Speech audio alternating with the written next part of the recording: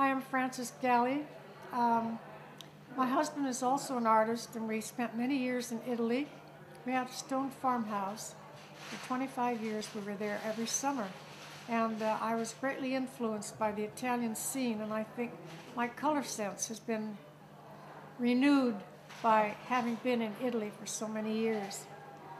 And I find that my colors are becoming even more intense as the years go by.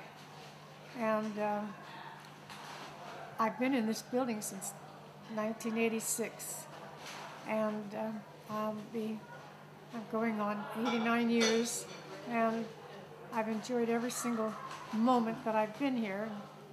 Can't imagine my life without this studio. And I've been, I think my last paintings are probably some of the best things I've done. And I'm very pleased. And I feel like I've accomplished a great deal in my life.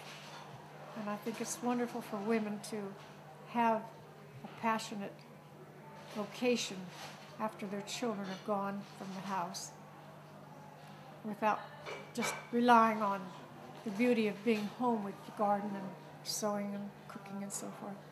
But I'm beyond that. I don't want that anymore. I, I'm, I'm happy here. And as long as I can come down, I'll be coming